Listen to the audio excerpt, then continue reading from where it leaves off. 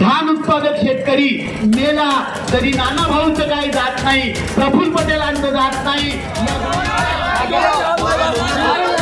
आमच्या या रबीच्या धानाला चोवीस तास सरकारने आम्हाला वीज दिली पाहिजे आणि चोवीस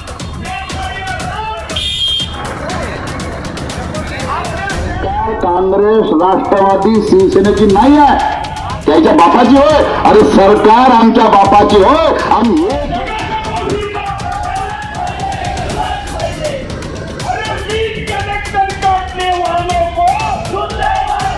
शेतकऱ्यांचे पंप जे आहे.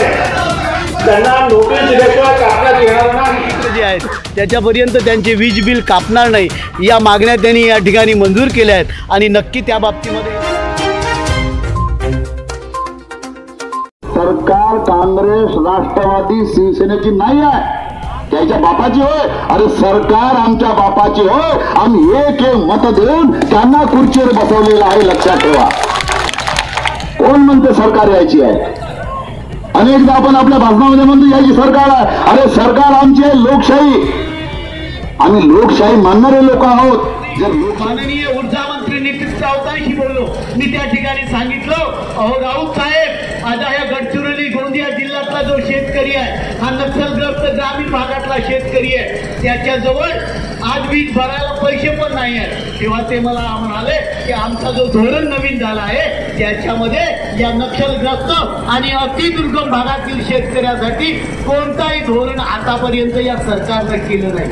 अशी ही सरकार आहे. आणि मी त्यांना जेव्हा म्हणून म्हणलो की आम्ही मोर्चा काढत आहोत तर ते म्हणाले तुम्ही मोर्चा काढा नंतर आम्ही बैठू आणि या शेतकऱ्यांना काय ठेवलं की द्यायच्यात ते देऊ? परंतु आजच्या घडीला हा भंडारा गोंदिया जिल्ह्यातला जो शेतकरी आहे आठ तास याचा होतच नाही.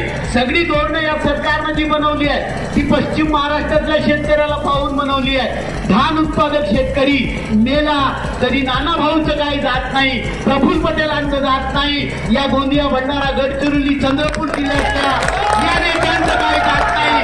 हे फक्त निवडणुकीला मात्र त्याचा धंदा. म्हणून आज आपण सगळेजण या ठिकाणी या कायद्यातल्या तरतुदी मग तुम्हाला वाचवून दाखवतो.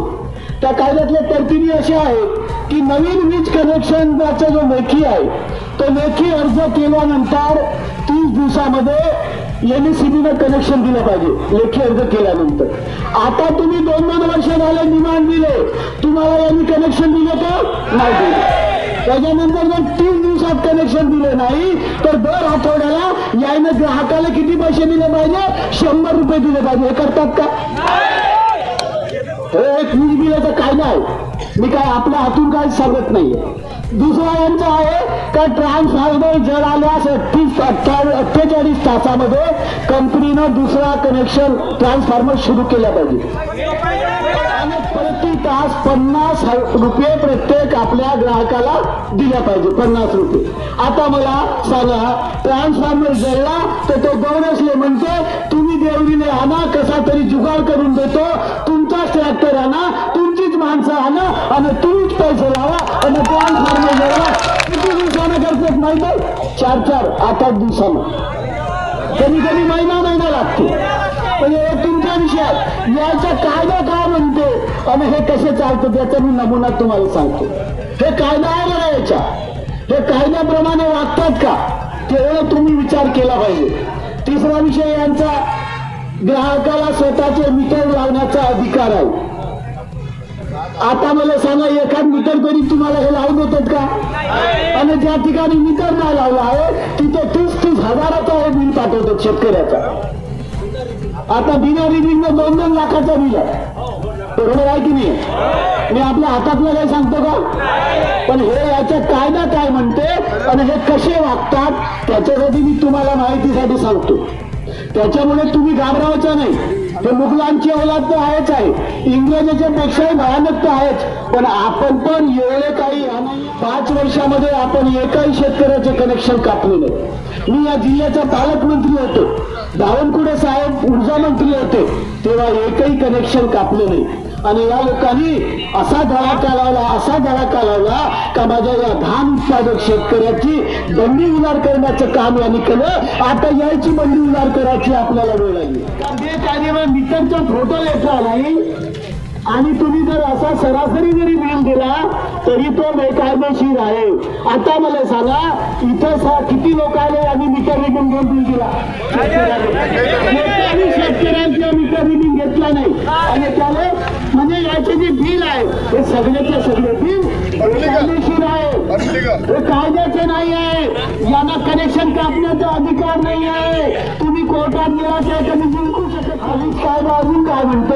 थर्ड वाक्य असेल. किंवा वादग्रस्त जसं आता तुम्हाला शंभर रुपयाचं बिल यावं पाहिजे. आणि तुम्हाला यानं वीस हजाराचं बिल दिला. तर असा वादग्रस्त जर बिल असेल तर याकरिता वीज पुरवठा बंद करण्यापूर्वी पंधरा पंधरा दिवसापूर्वी स्वतंत्र नोटीस दिली गेली पाहिजे. आता ज्याचे ज्याचे वीज कनेक्शन या ठिकाणी कापले ते हात वरून कोर्ट करून सांगा की पंधरा दिवसाचा तुम्हाला नोटीस भेटला का?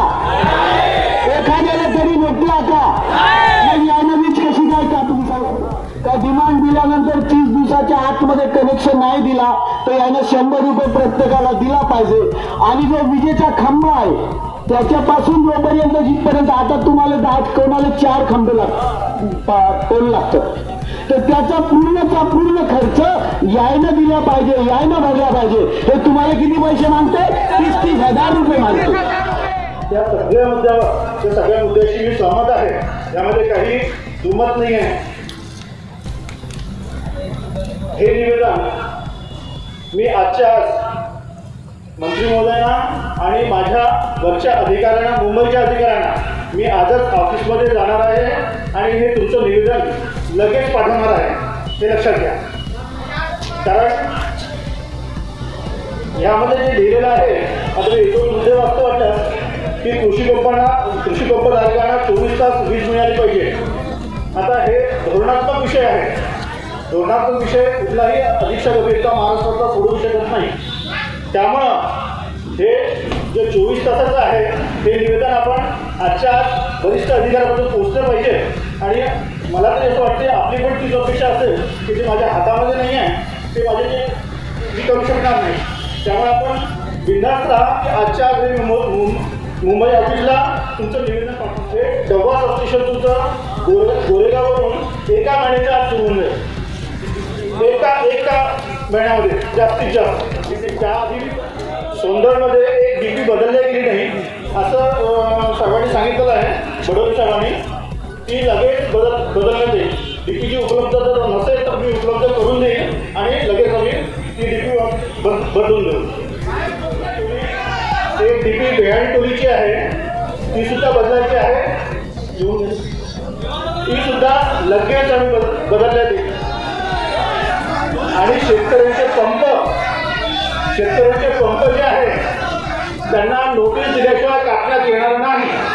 हे लक्षात घ्या एकाही शेतकऱ्यांना नोटीस दिल्याशिवाय त्यांचे वीज कनेक्शन कापले जाणार नाही. ज्या शेतकऱ्यांना विजेचं बिल जास्त आलं असेल त्यांचं त्वरित ते वीज बिल आम्ही रिवाईज दुरुस्त करून देऊ. लगेच. मी मी पूर्ण जिल्ह्यामध्ये सूचना देणार आहे.